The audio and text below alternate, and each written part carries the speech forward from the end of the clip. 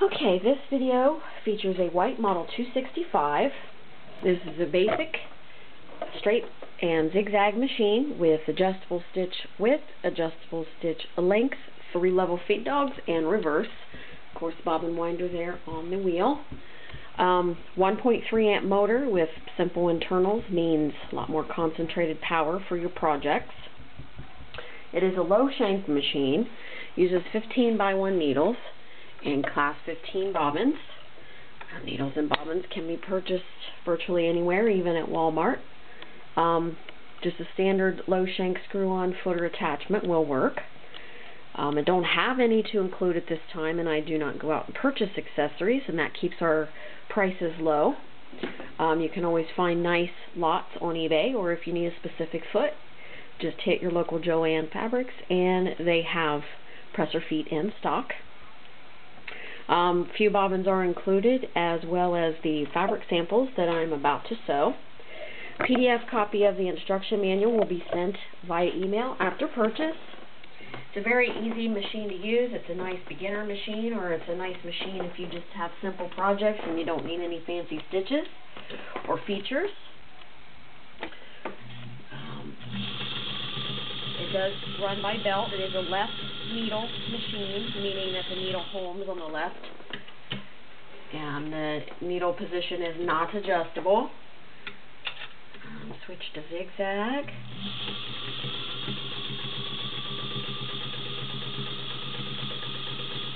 Reverse it works good.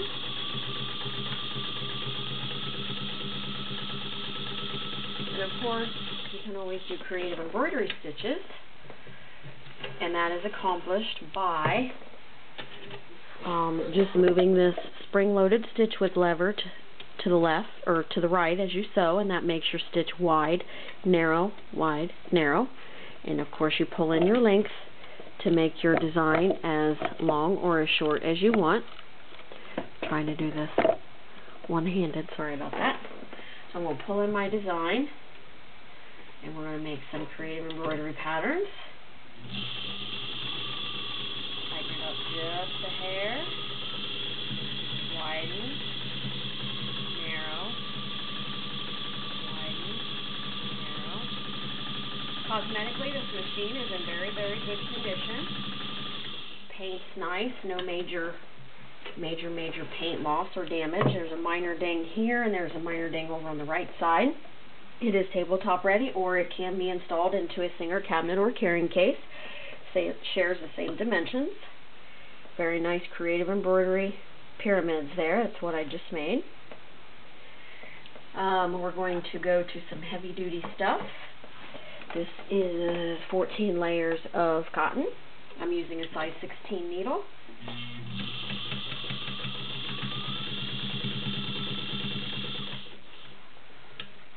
has no problem with that.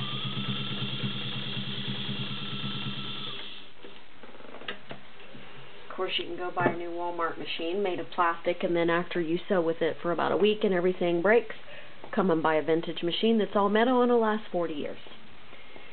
Nice stitches on 14 layers of cotton. How about six layers of denim? I'd like to see your Walmart machine tackle this for more than a couple stitches without binding up or napping a gear. Got the thread caught there.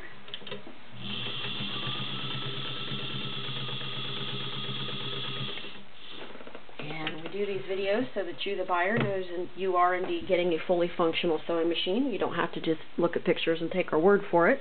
This is the machine you're buying. Nice stitch on six layers of denim. And last but not least, we're going to do three layers of garment leather. I'm not sure of the weight, but it's nothing super heavy, but it's nothing really light either. You have something to sew, like leather pants, leather vest, a blazer, patches on your biker jacket.